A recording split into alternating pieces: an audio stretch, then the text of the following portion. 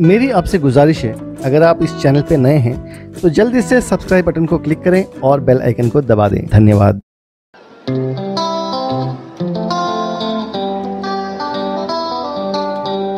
आप सभी दर्शकों को मुश्ताक शरीफ का प्यार भरा आदाब। आज हम चलते हैं उड़ीसा राज्य के गंजाम ज़िले का दूसरा बड़ा शहर, छत्रपुर। इसे हम गंजाम ज़िले का दिल भी कहते हैं। क्योंकि छत्रपुर गंजाम ज़िले का मुख्यालय है।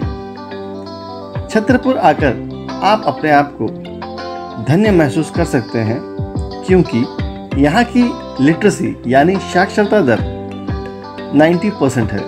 यानी देश की साक्षरता दर से 30 परसेंट ज़्यादा।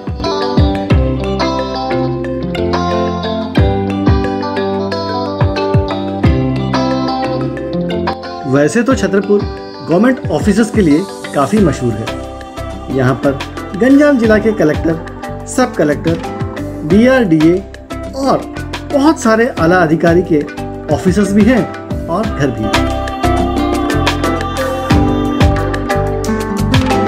गंजाम जिला के निवासी अपने पूरे जीवन काल में कम से कम एक बार छत्रपुर तो ज़रूर आते हैं, चाहे आरटीओ से ड्राइविंग लाइसेंस लेना हो या गाड़ी का रजिस्ट्रेशन करनी हो, या फिर शादी को पंजीकृत करना हो, या फिर घर, ज़मीन, जायदाद को रजिस्टर करनी हो तो छत्रपुर धाम के दर्शन आपको अवश्य करने होंगे।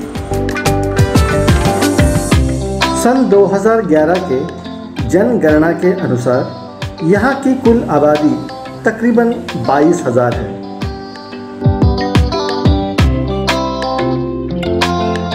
प्रशासन ने छतरपुर में उड़ीसा के कुछ प्रमुख महान व्यक्तित्व और स्वतंत्रता सेनानियों के सम्मान में हमारी नई पीढ़ी को उनसे परिचित कराने की कोशिश की है, जिनमें सबसे पहले हैं उड़ीसा को उड़ीसा बनाने वाले मधु बाबू यानी उत्कल गौरव मधुसूदन दास। इनके बाद है प्रमुख स्वतंत्रता सेनानी और उड़ीसा के पहले चीफ मिनिस्टर उत्कल केसरी हरिकृष्ण महताब महज 12 साल की उम्र में देश के लिए शहीद होने वाले बाजी राउत।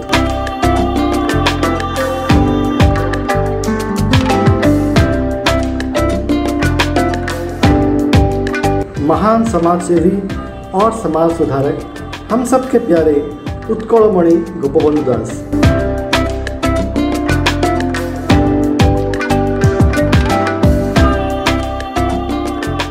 महान स्वतंत्रता सेनानी और पाइको विद्रोह के सूत्रधार बख्शी जगबंधु।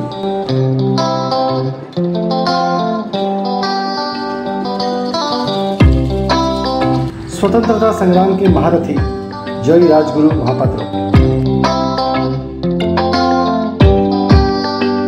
संस्कृत के विद्वान, पूरी मंदिर के पुजारी और सिपाही विद्रोह के सिपाही चक्की खुंटिया। स्वतंत्रता संग्रामी नॉन कॉपरेशन मूवमेंट और नमक सत्याग्रह में भाग लेने वाली माँ रमा देवी।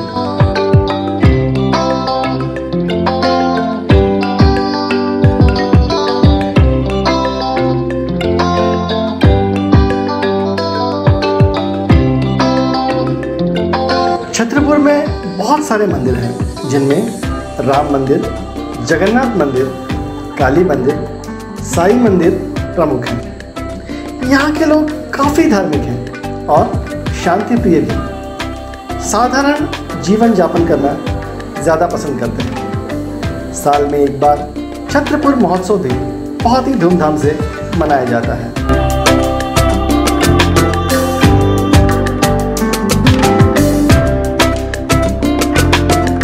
यहाँ पर मुस्लिम आबादी लगभग दो परसेंट से भी कम है। लेकिन यहाँ पर बहुत पुरानी मस्जिद है।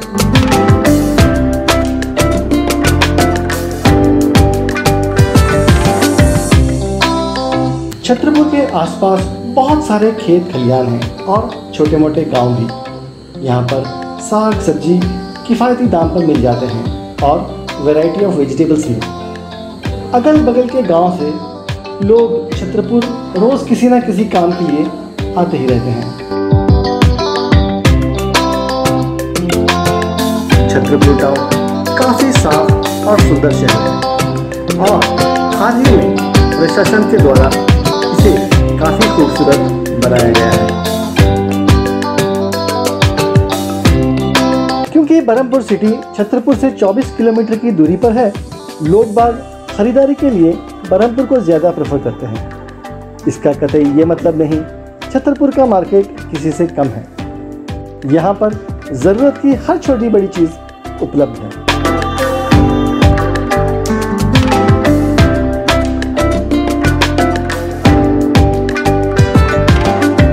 आप अगर खाने पीने के शौकीन हैं तो यहाँ आपको इडली, डोसा, वड़ा, चाइनीज़ और ढेरों ऑप्शन खाने के लिए मिल जाएँगे।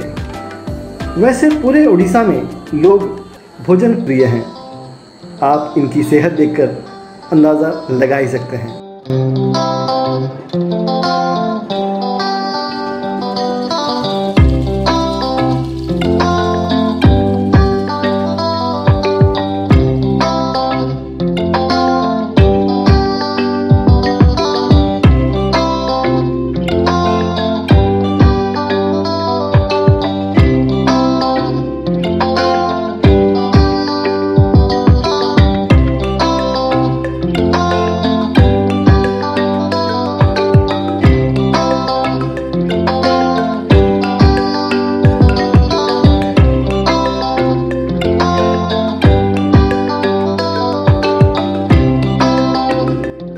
यहाँ पर बच्चों के लिए अच्छे अच्छे स्कूल्स साइंस कॉलेज और बहुत बड़ी लाइब्रेरी भी है। और आम जनता के लिए मॉडर्न इक्विपमेंट से भरा जिम भी।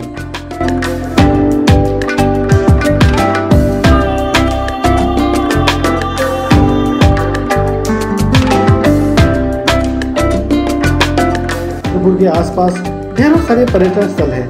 सबसे नज़दीक तो तामपरा लेक है। इसके अलावा बहुत सारे मंदिर हैं। और लोग गोपालपुर जाना भी ज़्यादा पसंद करते हैं। ये था एक छोटा सा प्रयास आपको छतरपुर से परिचित कराने का। वीडियो कैसा लगा? कमेंट बॉक्स में अवश्य बताएँ। मिलते हैं फिर अगले वीडियो में। तब तक के लिए बाय।